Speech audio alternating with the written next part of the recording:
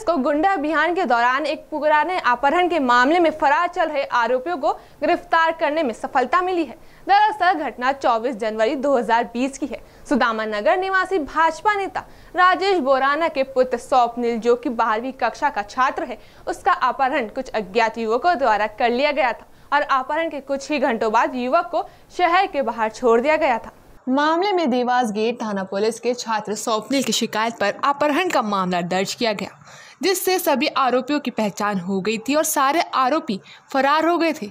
Police ने फरार आरोपियों पर दस हज़ार का इनाम भी घोषित किया था।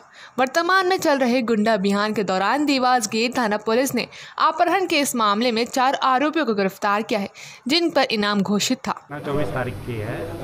फरियादी स्वप्नेश ने थाना देवास गेट आकर रिपोर्ट कराई कि कुछ लोगों ने उसके साथ मारपीट की है एवं उसको किसी अन्य जगह ले जाकर उसका अपहरण जैसी घटना को अंजाम दिया है। इसी के तहत हमने इसमें संबंधित धाराओं में अपराध दर्ज किया था। उसके बाद उसके बाद रिपोर्ट होने के बाद ही इसमें हमें आरोपियों की तलाश थी। अभी एक जो अभियान चलाया जा रहा है, उसी के तहत थाना देवास गेट एवं साइबर सेल के संयुक्त प्रयासों द्वारा मुखबिर की सूचना पर जीवाजीगंज क्षेत्र से हम इन चारों आरोपियों को हमने गिरफ़्तार किया है। इनमें दो लोगों पर दस दस हज़ार का इनाम पहले से घोषित किया गया।